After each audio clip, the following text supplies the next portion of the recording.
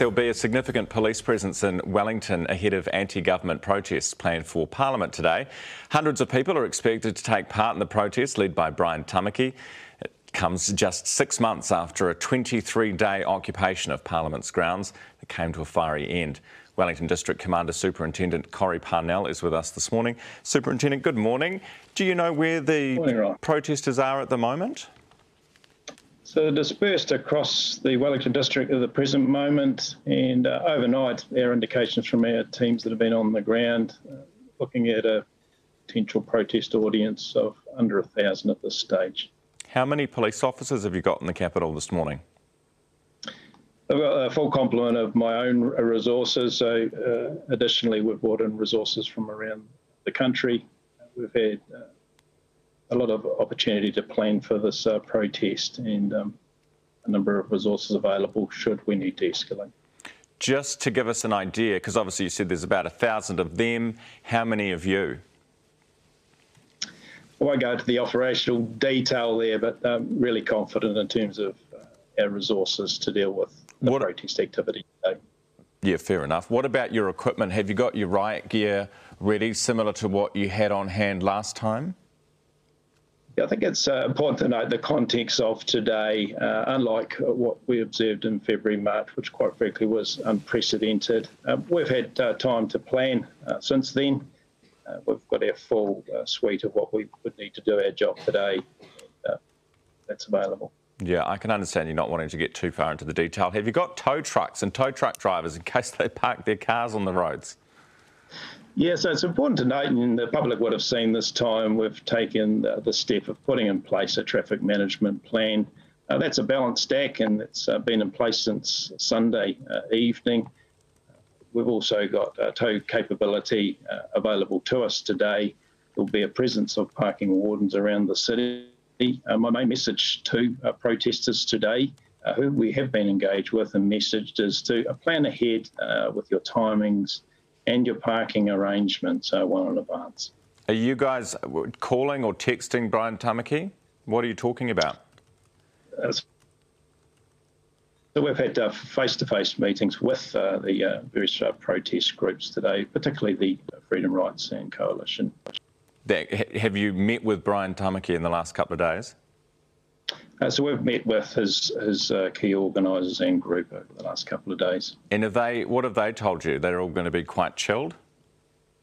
Yeah, so we're getting um, you know really optimistic and positive conversation. Their intentions is to indeed go about uh, their protest today uh, lawfully uh, and peacefully. Uh, they've indicated the times of that. There will be some disruption from Civic Square through to the intention to march to Parliament grounds police will uh, be out there highly visible uh, to facilitate that movement with the least amount of disruption to the Wellington public. Have you received any intelligence that there are dangerous people coming to the protest or people who might have weapons?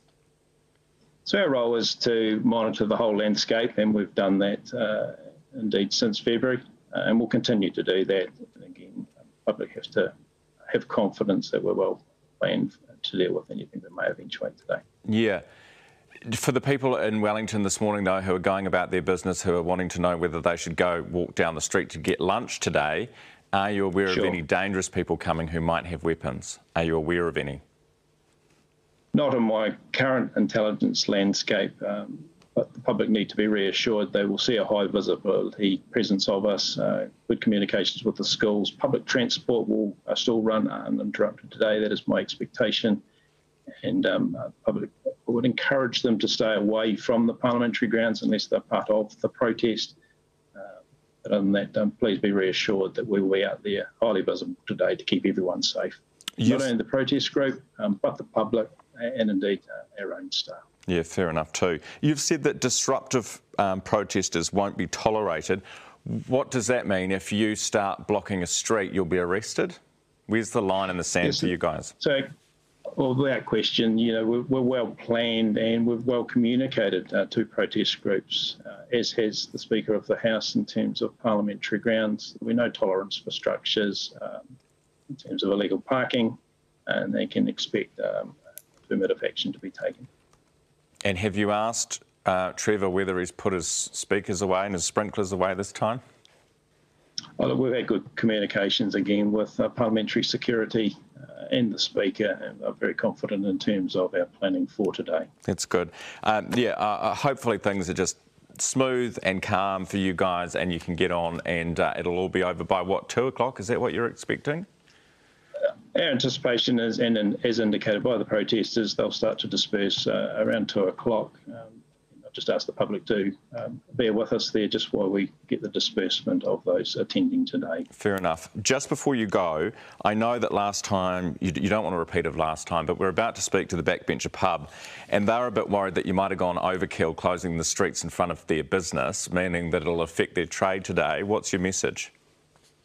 Yes, and you know that wasn't a decision made lightly. There's always a balance in there. Um, primarily today, uh, what we've learned from February is that uh, we need to ensure the safety of all, uh, not only my staff, but more importantly, the public, uh, hence that um, action today. There will be a moment in time, and um, I'm confident and optimistic that uh, things will disperse. But uh, yeah, I do acknowledge that there will be some disruption to those businesses. All right, best of luck for today. Wellington District Commander Superintendent Corrie Parnell with us.